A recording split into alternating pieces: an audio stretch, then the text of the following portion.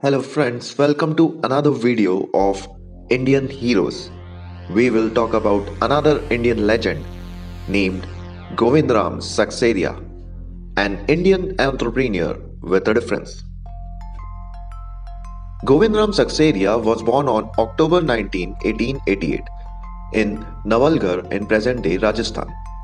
At the age of 16, both his parents died and he had to care of his wife and his six siblings.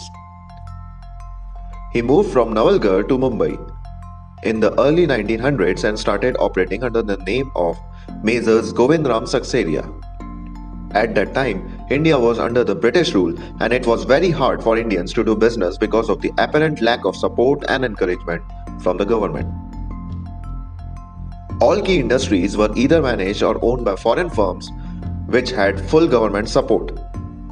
It was under such hostile business environment that Govindram launched his entrepreneurial career as an operator on the Bombay Cotton Exchange.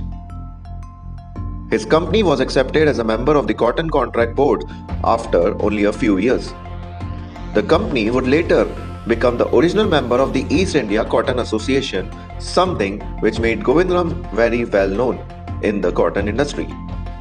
Following his success in the cotton market, Govindram ventured into the bullion market as well as different commodity and stock exchange markets in Bombay and other parts of the country.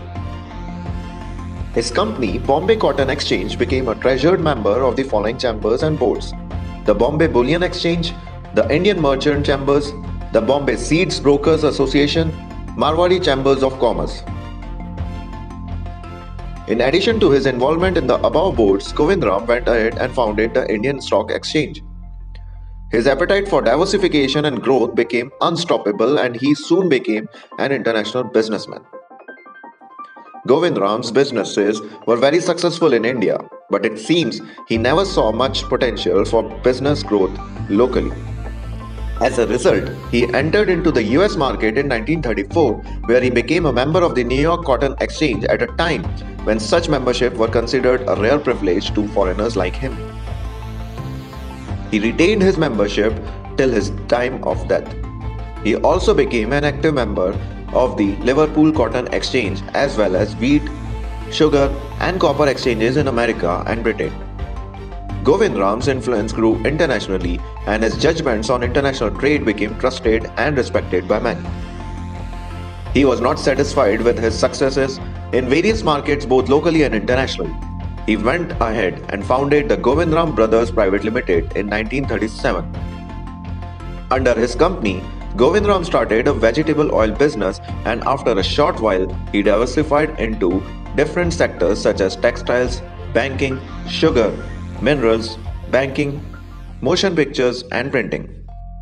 As if this was not enough, he went ahead and founded another company by the name Estate Investment Company as a management platform for his massive real estate properties.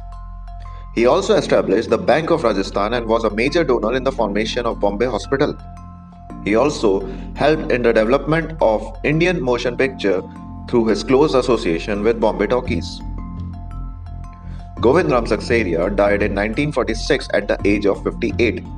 All the major markets in Mumbai, including the Bullion Exchange, Cotton Exchange, and Stock Exchange, remained closed that day as a tribute to this leader of industry.